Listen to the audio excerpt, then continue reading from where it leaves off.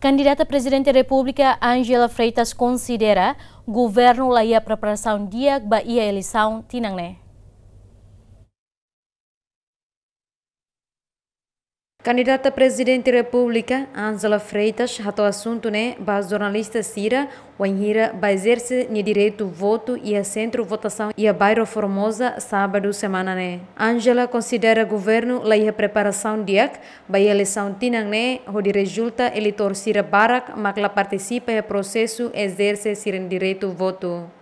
Angela explica, governo lá aplica centro votação paralelo onde la fobibam beli torcida, registra onde presta terem direito e a votação. Também Angela Russuba instituição relevante a dia serviço e a processo eleitoral.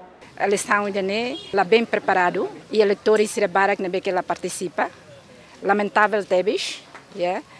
Também itare que tempo de nebe que badak, ita aplica votação nebe que paralelo, mas bem ita la fobibam ba uh, itania eleitores sira atau resisto e a toda parte e presta ser direito e a votação. A não que a instituição ser relevante para o processo eleitoral né, tem que hadia. Também dene ita viola na direito cidadão tomar.